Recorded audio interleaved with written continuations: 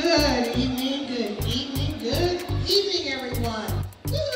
Welcome to Dymally High School Spring 2018 Open House.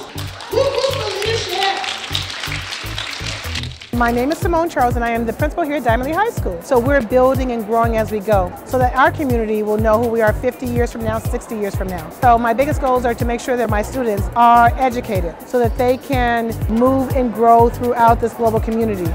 Uh, we're a family and a community that really attach to our students and make sure that they get the best education possible. We also have uh, credit recovery classes and opportunities for those students who may not be successful in the class. They get that second opportunity. Any person can learn, no matter what race, ethnicity, or background. We have a lot of wonderful teachers that are experts in their field.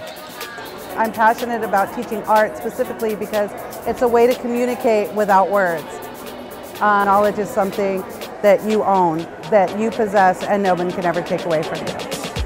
I think we're a great campus. I think that we can provide an excellent education for their kids. Dymally High is filled with amazing teachers, um, students who are just caring and loving. They're always here just to make sure that they're doing something for another student. We have teachers who so educated, so willing to work with students. I actually want to be a computer engineer. I was looking for a program that actually um, supported his educational needs.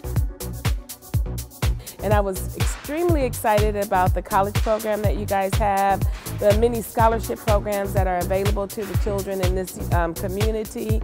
I enjoyed the idea of my son being a part of the community. And you know, I just love spending every minute um, of my time with my students. I would say definitely send your child to Dymally High School. Um, academically, they have great teachers that get them prepared for college.